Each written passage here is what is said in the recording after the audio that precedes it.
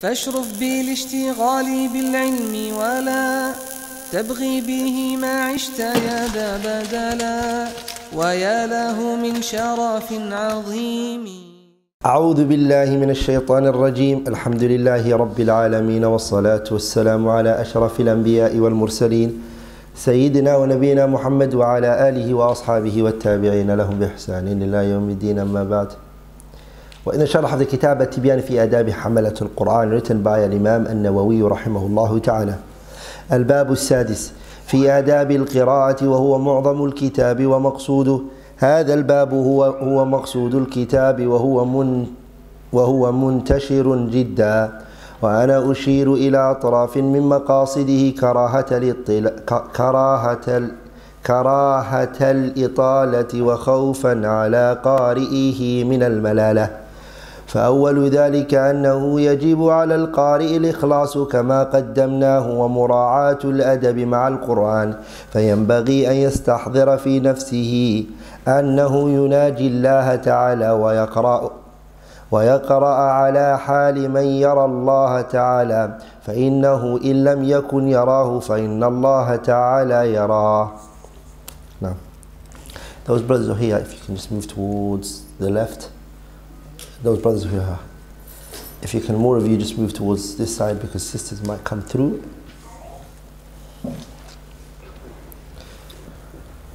So Ibrahim, you- yes, it's, over there. Chapter 6 Manners required during recitation. This chapter is the main purpose of the book and is therefore quite long. So this, the author now is going to go into the fifth, uh, sorry, the sixth chapter, and as he said, uh, rahimahullah, this is going to be about the etiquettes of reciting, and this is the biggest part and the longest uh, portion of the book, and it's the intent of why the book was authored. So the fifth and the sixth chapters are really the, the reason why he authored this book. Now, I will, however, point out that which is particularly important so as to avoid making it too long and hence avoid boring the reader. So here the author says, and وَأَنَا أُشِيرُ إِلَى أَطْرَافٍ مِّن مَقَاصِدِهِ What I'm going to try to do, inshallah ta'ala, is I'm going to mention the intended. I don't know, do just like karahat al I just want, I want to stay away from speaking too long and being lengthy. And fear that I might, I might make the individual who's reading get tired and bored.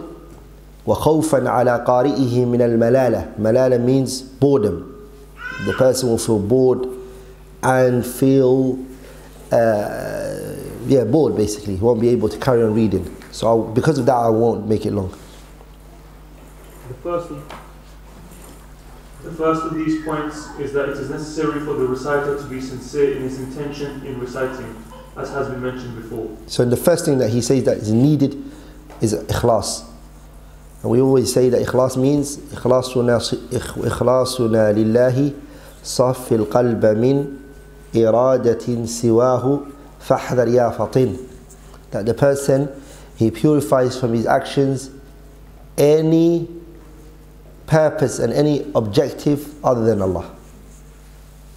Now, And to behave appropriately towards the Quran. the second thing he mentions is وَمُرَاعَاةُ الْأَدَبِ مَعَ الْقُرْآنِ and that the person observes manners when reading the Quran. This chapter is going to speak about that.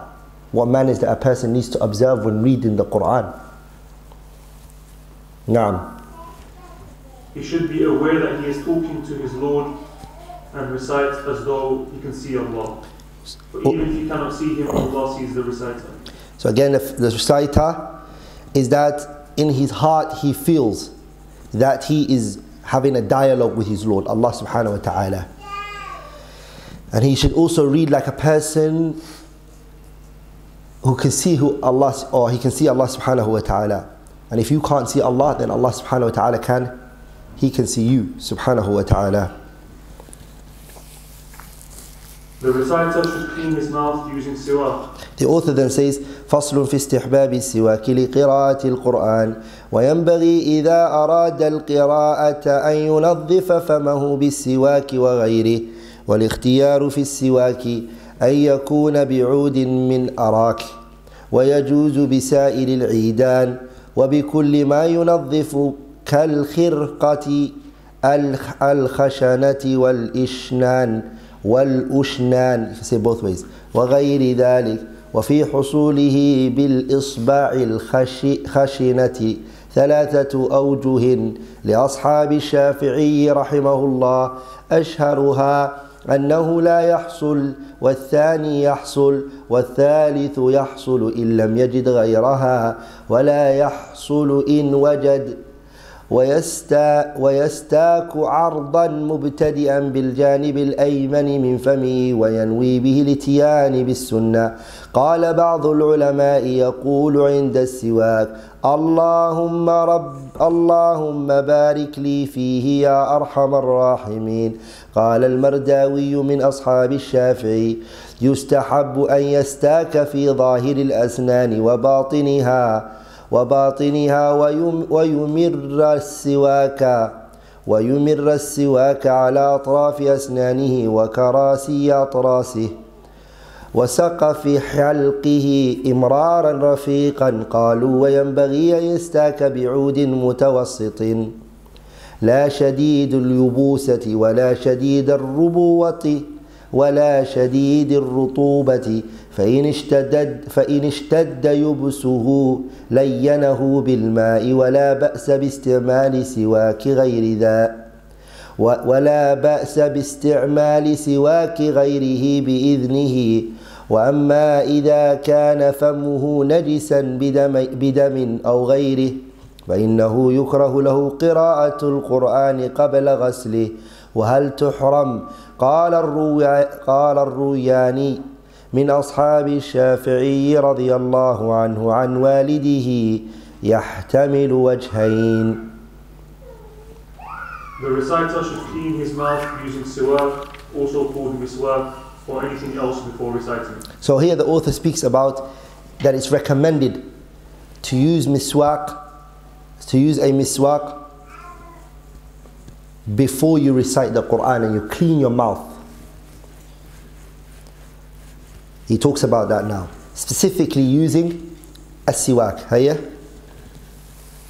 And it is preferred that the siwak be from the arak tree. So now, what type of siwak is the best? It's the arak. It's from the tree of arak. And it would have been better if we bought different siwaks and showed you guys which one it is. It is permissible to use any other kind of stick used for cleaning or anything else that can be used to clean the mouth like a rough cloth. So the person can use anything else can be used. For example, a person can use now toothbrushes. Okay, and anything else it can be used. It doesn't matter. It can. It doesn't have to be necessarily a siwak. Hiya? With regards to the reciter cleaning his mouth with his finger, Now the person doesn't use any of that. He uses his finger to clean his mouth. What about what's the situation like? there are three different opinions among the scholars of the Shafi'i school of thought. May Allah have mercy on them. So now we're talking about what is it in terms of reward. Can you you're using your finger? He says within the Shafi'i madhab there's three, and Imam al-Nawawi is a, a Shafi'i. Now, The most popular of these opinions is that it is not adequate to clean one's mouth with one's fingers. so one shouldn't. The second opinion is that it is adequate in, in any case. And the third is that Second opinion is that he should, and he can, and he, and the third one is and the third is that it is acceptable only in the absence of any other more appropriate means. so the third one is that he should use a siwak, but if he can't find a siwak, he's then entitled to use his fingers. The reciter should use the siwak by starting from the right side of his mouth to the left. The, he should so he should start with what? The, this is only when it's what? Hmm? No. It's the only time you have to start from the right is when? Huh? Huh? If you're doing it ittiba'an lis-sunnah, but if you're doing it to clean your mouth from dirt, then the dirt you always start with the left. Because the Prophet ﷺ always used to do good things with his right. Sah? Huh? When you go to the toilet and you do, you, you do your You clean which with with hand?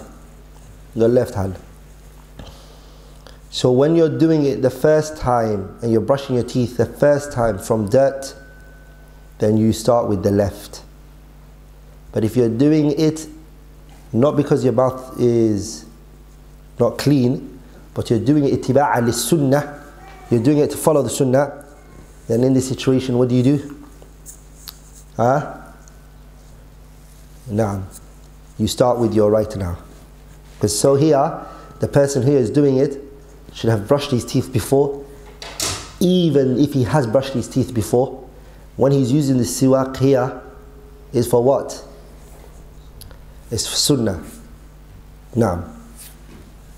So the reciter should use the siwak by starting from the right side of his mouth to the left and he should form the intention of adherence to the sunnah. You see? So he's doing it in adherence to the sunnah. And following the sunnah is something good. And it's something that you're now not cleaning your mouth from it. So in this regard, it is what? It's from the right. Now, Some scholars have stated that he should say, Oh Allah bless this action for me while using siwak. some scholars they said that he says this dua, Allahumma barik li fihi ya arhamar rahimin. Oh Allah bless, bless it for me, the most merciful, oh my Lord. Again, this is a ibadah and a ibadah needs a, this is a ibadah and a ibadah needs what? It needs evidence and it needs a nas, textual evidence. So we say that this is not uh, is permissible because there's no evidence for it. Al-Mawardi, one of the companions of Imam Shafi'i, he states, It is recommended that both the front and back of the teeth be cleaned and that the stick be moved along the edges of one's teeth, one's molars, and smoothly along the top of one's throat. So here, Al-Mawardi, Ya Ikhwat al-Kiram, our ulama explain everything, even how to brush your teeth and how to do it. صح? And that's not something shocking because even the same thing has been transmitted from who? The Messenger alayhi salatu wasalam. The same was transmitted from him. Narrations have mentioned that he would brush his teeth sallallahu alayhi wasallam so much so until he would say ur, ur. The narration mentions. صح? So the processor will do that. So these are the narrations that they brought and the understanding is that that the person he does the outside of his teeth and he does the inside of his teeth inside as well and also once he has done that so he's he's done his incisors he's done his molars he's done his canines huh? everything he sorts it all out then wasaq fi halqihi he also does that up the, the saqaf of his teeth.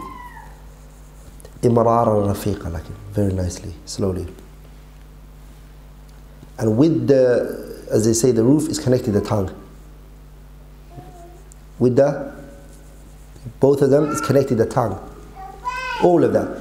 And it is from the saqaf and the tongue where the odor comes from. The person doesn't rush. Naam. The scholars have also stated that one must use a stick of average length and one that is neither too dry nor too wet. So look, the length shouldn't be too long. No. Shouldn't be too short. No. It also shouldn't be excessively dry. And it also shouldn't be excessively what? Wet. So it shouldn't be shadidul yubusa. Shouldn't be yabis. And it also shouldn't be shadidul rubut rutubati. Rutuba means what? Wet. Shouldn't be excessively wet as well. If it is too dry, it's maybe moistened with water. So if the person feels like, the, okay, this is a hard one, you go to a family, they give you a hard one they've kept in the fridge. You see, or they've kept it for months. Then what you do here in this regard is you try to wet it. لَيَّنَهُ بِالْمَاء Take water and wet it. It is also acceptable that someone else's siwak be used with their permission. Also, you can use somebody else's siwak if they give you the permission to use it. Would I suggest somebody to use somebody else's siwak? Not at all. But can it be done if you both feel comfortable with each other? You could, you could do so if you wish to. But I think everybody should have their own. They should get their own one. It is disliked that the reciter recite the Quran if his mouth is bleeding or contains any kind of impurity without cleaning it first. So the author here says the person's mouth is bleeding. For them to go and read Quran whilst there's blood in their mouth, you see, فَإِنَّهُ يُكْرَهُ This is disliked. Ah, this is disliked. Doing, doing this so, you go and rinse out your mouth. As to whether or not reading in this state is actually forbidden, Ruyani, another of the companions of Imam Shafi'i, stated that there were two opinions regarding this. Is it haram? We, he said he mentioned that it's disliked. But is it haram? He says قال الروياني الروياني من أصحاب الشافعي He's from the Shafi'i scholars. He mentions from his father يحتمل وجهين Both are possible. Sometimes it can even be haram and sometimes it can be uh, makruh. فصل في حكم قراءة القرآن بغير طهارة. ويستحب أن يقرأ وهو على طهارة فإن قرأ محدثا جاز بإجماع المسلمين والأحاديث فيه كثيرة معروفة قال الإمام الحرمين رحمه الله ولا يقال ارتكب مكروها بل هو تارك الأفضل فإن لم يجد الماء تيمم والمستحاضة في الزمن المحكوم بأنه طهر حكمها حكم المحدث. وأما الجنب والحائض فإنه يحرم عليهما قراءة القرآن فإنه يحرم عليهما قراءة القرآن. سواء كان آية أو أقل منها ويجوز لهما إجزاء القرآن على قلوبهما من غير تلفظ به ويجوز لهما النظر في المصحف وإمراره على القلب وأجمع المسلمون على جواز التسبيح والتهليل والتحميد والتكبير. والصلاة على رسول الله صلى الله عليه وسلم وغير ذلك من الأذكار للجنب والحائض. قال أصحابنا وكذا إذا قال إذا قال للإنسان خذ الكتاب بقوة وقصد به غير القرآن فهو جائز وكذا ما أشبه. قالوا ويجوز لهما أن يقولا عند المصيبة إنا لله وإنا إليه راجعون إذا لم يقصدا القراءة قال أصحابنا الخراس خراس خراسانيون قال أصحابنا الخراسانيون ويجوز أن يقول عند ركوب الدابة سبحان الذي سخر لنا هذا وما كنا له مقرنين وعند الدعاء ربنا آتنا في الدنيا حسنة وفي الآخرة حسنة وقنا عذاب النار. إذا لم يقصد به القرآن قال إمام الحرمين فإن قال الجنب بسم الله أو الحمد لله فإن قصد القراءة عصى وإن قصد الذكر أو لم يقصد شيئا لم يأثم ويجوز لهما قراءة ما نسخت تلاوته كالشيخ والشيخة إذا زنيا فارجموهما Section The ruling of reciting the Quran without being in a state of purity. The author now goes into a mas'ala called Are you allowed, are you permitted to recite the Quran without purification? I am not in a state of tahara. Am I allowed to read the Quran? The author here says, It is recommended that the reciter recite the Quran while in a state of purity. So here he says, وَيُسْتَحَبْ It is recommended that the person reads the Quran in a state of tahara. If he reads it, But there is nothing wrong with reciting without having made ablution according to the consensus of the scholars. But if he reads it muhdithan, which is that he's got minor impurity, جاز it is permissible بإجماع المسلمين by consensus of the Muslims والأحاديث فيه كثيرة معروفة and the evidences pertaining to that are excessive, large in quantity, and it's well known. There are many hadith to prove this point. Regarding he who recites without having made ablution, the Imam of Al Haramain states, it should not be said that he has done that which is disliked, rather he has left that which is recommended, i.e., making ablution. Imam al Haramain, Abu Ma'ali al Juwayni, rahimahullah, from Aimmat Shafi'iyah, and he's going to quote him a lot because he's a Shafi'i, and so is Nawawi a Shafi'i. So Imam Al Imam Ma'ali al Juwayni, rahimahullah, is a book, big book Madhab al Shafi'iyah. It's called نهاية المطلب في دراية المذهب. It's a book that's reached 30 volumes. He wrote, Imam al-Haramain is the author of Al-Waraqat.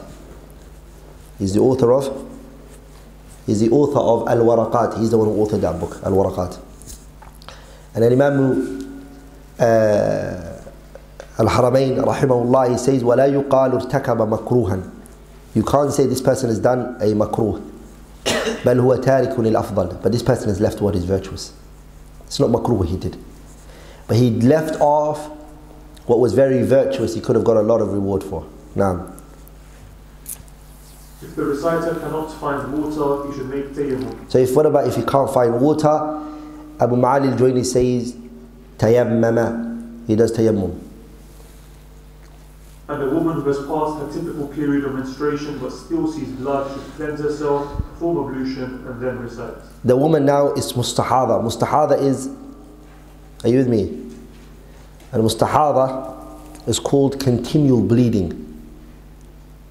Is when the woman just consistently is bleeding. There's no stopping to it. It's not menses. Huh? The woman has three types of blood that come from her. The first one is hayd, which is menstruation. The second one is called nifas, which is the postnatal bleeding. And the third one, which is istihada, which basically is continual bleeding. Continual bleeding, which is that her body is is uh, producing blood that's unnecessary, has no reason. The Prophet told us, alayhi the reason that's bringing it. But this is called istihada. So what does this woman do when she wants to read the Quran? The woman who's in a state of istihada, the Shaykh says, Al-Imam al-Haramain, وَالْمُسْتَحَادَةُ فِي الزَّمَنِ الْمَحْكُومِ While she's in that period, which he said that she's, she's the, mustah, the woman who has istihada, can she have intimacy with her husband? No, she can. Mustahada, istihada. The woman who's consistently bleeding, she can. She's normal. His blood is not hayd. You see, she just they just need to know the difference between when it turns into hayd, and there are ways that scholars verify that. There's a zaman called Zamanul Mahkum, they call it, fuqaha. Zamanul Mahkum is the time where she is said to be pure. And that's the time that she's not on her menses. Does that make sense? That the istihada here is just that continuous bleeding. It's not menses here. That continual bleeding, while she's on it, she's pure. She's allowed to do what? Everything. There's nothing she stops from doing. You see? Because this blood, blood will never stop. It will never stop. But the author, Imam al Haramain, says, even that though she's pure, she takes the hukum of a muhdith, which is that a person who lost what?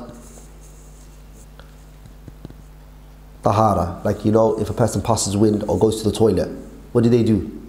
They need to come with wudu, right? She say, he, he say that she's pure, but she needs to come with wudu.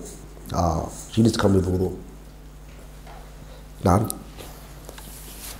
Those in a state of major ritual impurity, such as after having had intercourse, and menstruating women must neither recite the Quran nor touch it. The woman who's وَأَمَا الْجُنُوبُ وَالْحَائِض The woman who's on janaba. She's in a state of janaba. or he's in a state of janaba. Janaba means after sexual intercourse. The state that the people are in is called janaba. Or if a guy has a wet dream or a woman has a wet dream. This is called what? This is called, it's a state of janaba. Wal ha'id, ha'id is menses. Those are called major impurity. When you have to come with wudu, it's called minor impurity. But when you have to come with ghusl, it's called what? Major impurity. He spoke about what? The minor impurity. What did he say that the minor impurity is? Is that that person has left the, yeah, he has left the tariqatul afdal, the minor impurity. When you're in a minor impurity, reading the Quran, what did he say? You've left a what? You've left to a tariqul afdal. صح? Are you with me, brothers? But what about if the person is in major impurity? Either by being in a state of janaba or a state of hayd. The author here says, فإنه يحرم عليهما قراءة القرآن. Here is haram for them to read the Quran. He says it's what? He says it's haram. yeah? Regardless of whether it is a single verse or less. So he can't even say Bismillah ar-Rahman ar-Rahim. He can't say anything. That's if you take Bismillah ar-Rahman ar-Rahim as to be an ayah. Are you there? He can't read anything from the Quran. He can't. yeah? Instead, they are allowed only to recite it in their hearts without uttering its words. So they can say Bismillah in their heart. They can read everything in their heart, but they can't say anything. Oh, yeah? It is also permissible for them to read from it without uttering its words. So they can look at the Mus'haf. Are they allowed to touch it? Of course, for, of course, according to them, no. Sah? So she's not allowed to touch the Mus'haf. Oh, yeah? The scholars are unanimously agreed that it is permissible for the menstruating women and those in the state of major ritual impurity to glorify their Lord by saying the, by saying the takbir, to say Allahu Akbar, and tahleel, to say La ilaha illallah, to supplicate and make salat and salam or pray to the Prophet. So she's allowed to do, and he is allowed to do the one in state of janaba. All of them are allowed to do what is known as a tasbih, subhanallah, subhanallah, subhanallah. Tahleel, la ilaha illallah. Tahmeed, alhamdulillah, Rabb, they do it. Takbir, Allah, they do all of that.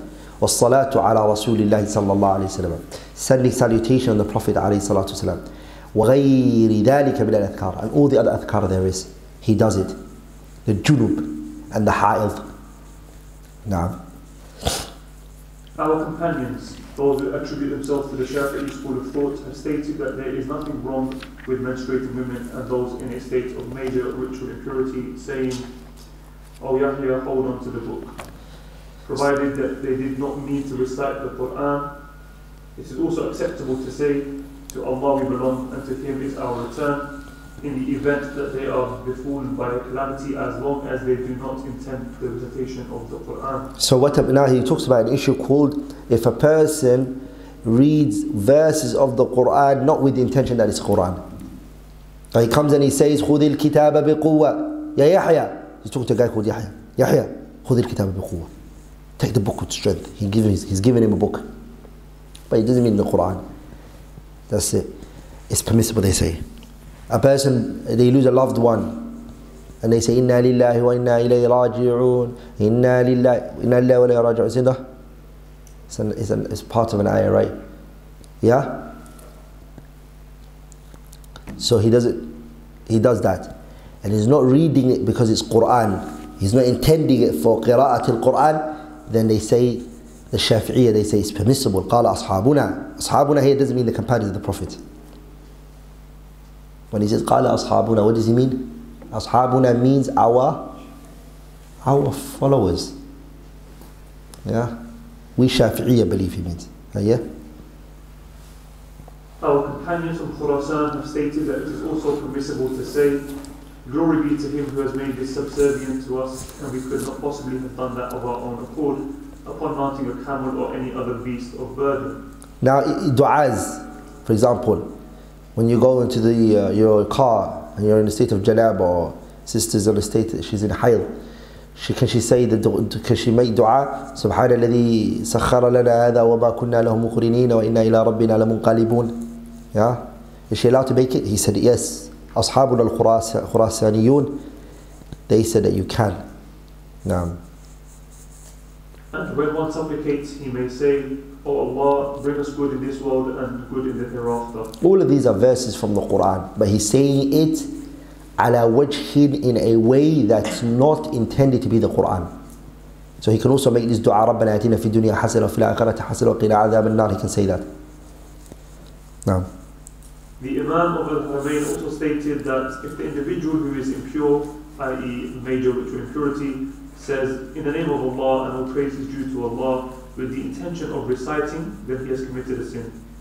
But if he simply said it for the sake of mentioning his Lord or had no real intention at all, it is not considered sinful. No. It is also permissible for someone upon major impurity to recite that which has been abrogated from the Quran, such as if an elderly or married man or elderly woman commit adultery, then stone them to death. This is now a, very. a, this used to be a verse in the Quran. This ayah yeah, it is الشيخ والشيخة إذا زنيا فرجموهما البتة نكالا من الله والله عزيز حكيم I think that's what the ayah was. It used to be an ayah that was read, but it got abrogated in its wording. Its meaning is in the Quran though. The meaning still stands in the in Sah. The meaning is, it still stands. I mean, we have to still follow the meaning. The point is, um, this ayah is abrogated. It's no longer in the Quran. Is a person allowed to read it according to Imam al-Haramain? He can still read it, no problem. It's an abrogated verse. So they are, they are allowed to read it, even if they're in a state of major impurity. That's what he he mentions. فصل في التيمم لقراءة القرآن.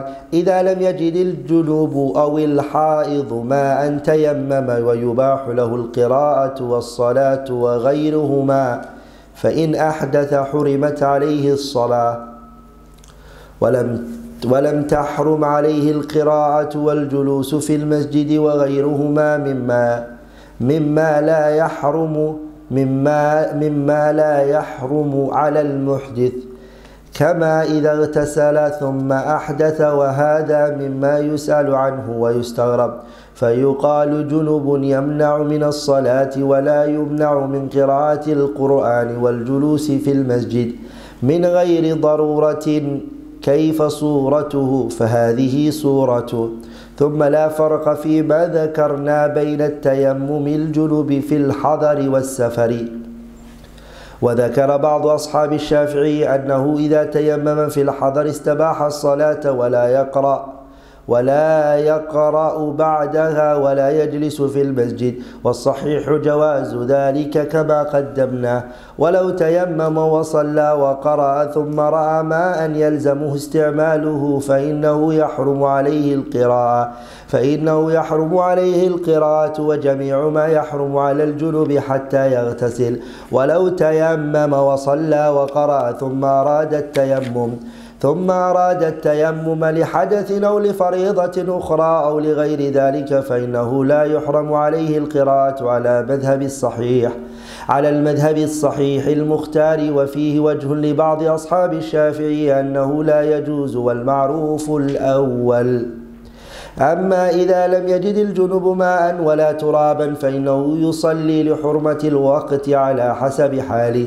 ويحرم عليه القراءة خارج الصلاة ويحرم عليه أن يقرأ في الصلاة ما زاد على الفاتحة. وهل يحرم عليه قراءة الفاتحة فيه وجهان؟ الصحيح المختار أنه لا يحرم بل يجب فإن الصلاة لا تصح إلا بها. وكما جازت الصلاة للضرورة مع الجنابة تجوز القراءة والثاني لا يجوز بل يأتي بالأذكار التي بها. بل يأتي بالأذكار التي يأتي بها العاجز الذي لا يحفظ شيئا من القرآن لأن هذا عاجز شرعا فصار كالعاجز حسا والصواب الأول. وهذه الفروع التي ذكرتها يحتاج إليها فلهذا أشرت إليها بأوجز العبارات وإلا فلها أدلة وتتمات كثيرة معروفة في كتب الفقه. والله تعالى أعلم. Section Tayammum and recitation of the Quran. The author here, rahimahullah, he talks about a tayammum. Tayammum is when you can't find water anymore. You use the dust to recite the Quran. Now,